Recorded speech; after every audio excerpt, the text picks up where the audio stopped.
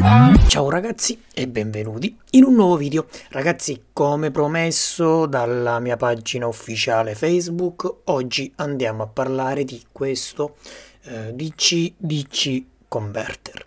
E è un booster. Mm, un booster non è altro che un elevatore, ragazzi, di eh, di tensione. Questo infatti è capace, grazie anche al circuito che vedi, di elevarti tensioni che vanno da minimo 10 volt a massimo circa una sessantina di volt e come uscita ti può dare da 12 volt circa a 90 volt in corrente sempre continua ovviamente Ragazzi il circuito è carino, è fatto bene, le saldature mi piacciono, tre fusibili di protezione come hai visto, però ragazzi è un prodotto cinese, è un prodotto economico perché alla fine è economico per quello che fa, dovrebbe costare molto di più. Sotto ti lascio link eh, dove puoi andarlo eventualmente ad acquistare. Fate attenzione ad una cosa, come tutto ciò che è cinese, come tutto ciò che è economico, eh, gli ingegneri ragazzi vanno a risparmio. E si capisce anche da qui. Perché? Perché il dissipatore tra parentesi lo vedo piccoletto. Perché se realmente tu sfrutti tutta la sua reale potenza che è 40 ampere ragazzi 40 ampere sono tantissimi. Con 40 ampere c'è bisogno di tanta dissipazione. È vero che c'è anche la ventolina ma va bene.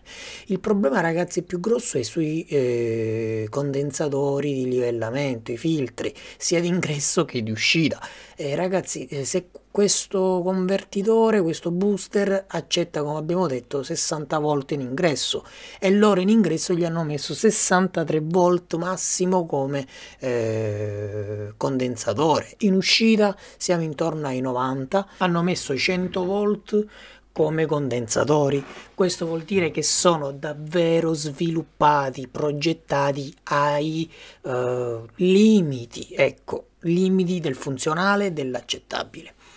E queste sono le varie eh, connessioni, eh, positivo o negativo d'ingresso, positivo o negativo di uscita, la corrente entra dall'ingresso eh, ed esce eh, dall'uscita. C'è il trimmer numero 1 che ti permette di regolare una sorta di protezione eh, sul pacco batteria d'ingresso, perché solitamente ragazzi questi quando si utilizzano? Quando per esempio io ho 12 volt di una batteria dell'auto, e voglio far funzionare qualcosa a 24 volt per esempio. Ecco, io tramite quel trimmerino dico che se la batteria in ingresso, perciò la mia batteria dell'auto, ha una tensione che scende sotto i mm, 11 volt, si deve spegnere tutto e lui in automatico fa spegnere il circuito. È una sorta di ecco, protezione poi c'è il trimmer centrale che è quello della corrente che ti appunto può eh, regolare la corrente in uscita da 0 a massimo 40 ampere. Però ovviamente ragazzi tutto dipende dal carico che vai a mettere. Se metti un carico che, ti, che, che vuole per esempio 4 ampere eh, massimi eh, non potrai mai avere 40 ampere di uscita. Se invece è differente metti un grosso resistore un grosso motore che ha un, una corrente di 30 ampere e allora lì avrai modo di regolare da 0 a 40, 30, 20 ampere, 10 ampere tramite il trimmerino centrale. Il trimmer eh, terzo, che è quello all'uscita, è quello che ti permette di regolare il voltaggio di uscita, come abbiamo detto da 12 a 90 volt. Sono trimmer multigiri, questo eh, ci permette di avere delle regolazioni ragazzi finissime, eh, regola anche bene devo dire eh, il voltaggio e anche l'amperaggio.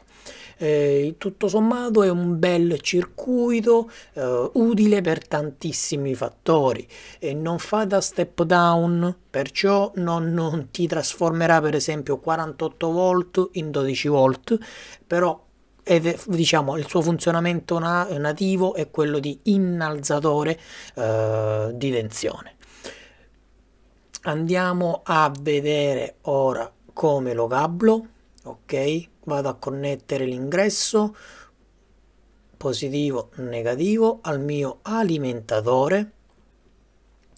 1500 watt massimo ok?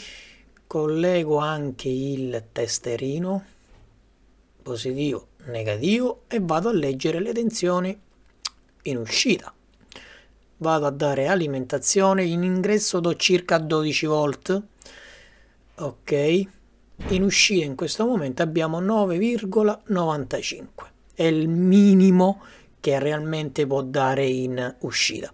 Ti ricordo comunque il mio corso Battery Maker e il corso Power Wall Maker se vuoi imparare e studiare la tecnologia lidio. Sotto in descrizione tutti i link.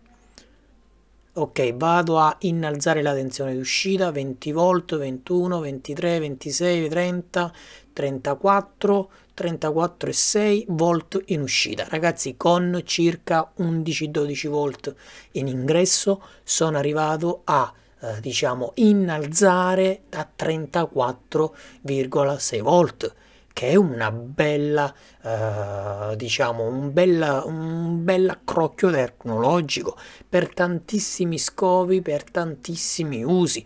Ha come efficienza circa il 98%, continua a salire 56, 57, 62, ragazzi non si scherza, 70 volt con soli 10 volt di ingresso, cioè pensa quante cose potrai fare con un prodotto simile. In commercio esistono tantissimi altri modelli. Questo posso dire che è uno dei più potenti che ho trovato, 95 volt. Eccolo qui. 95 volt, voltaggio massimo di uscita con, uh, abbiamo detto, il, uh, la serie di 3 condensatori da 100 volt. Ovviamente sta dentro i 100 volt perciò non dovrebbero avere problemi non dovrebbero scoppiare eccetera eccetera. Però dico hai visto? Sono lì con lì. Loro fanno tutto sul filo del rasoio fanno funzionare tutto eh, siamo sempre nella sicurezza però non come i progettisti per esempio buoni eh, sovradimensionano oh, i vari componenti perché volendo potevano anche mettere condensatori da 150 volt per stare larghi però ovviamente le dimensioni erano più grandi il costo era differente. Loro minimizzano tutto mm, fanno funzionare tutto perché funziona. Come vedi funziona alla perfezione. Eh, un altro utilizzo di questo circuito quale potrebbe essere? Io ho um, per esempio sempre una batteria di auto e voglio alimentare un motore a 36 volt, un motore a 48 volt, un motore in corrente continua da 100 volt o alimentare delle schede elettroniche, alimentare dei circuiti alimentare delle lampade, qualsiasi cosa ragazzi, questo è un elevatore di tensione con anche buona potenza.